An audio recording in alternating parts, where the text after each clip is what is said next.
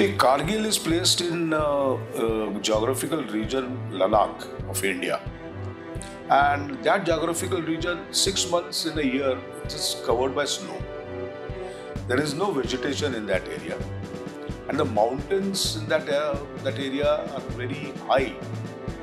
And it is very tough to stay there for a normal civilian, even for a day or two, because once you go to Kargil and Leh, you have to get acclimatized before you actually go and start serving. So Ladakh is a region of Indian uh, Ladakh geographical region is actually a mountain desert. It's located 12,000 feet plus high. Okay, so it's very tough to live there. It's very tough to stay there.